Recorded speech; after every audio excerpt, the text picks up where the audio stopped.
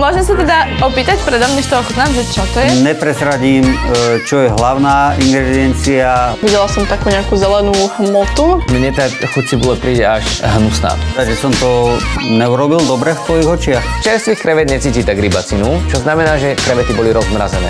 Keby to mám zjesť celé, tak to by som asi ani nezvládla. Bez servítky. Dnes o 17.50 na Jojke.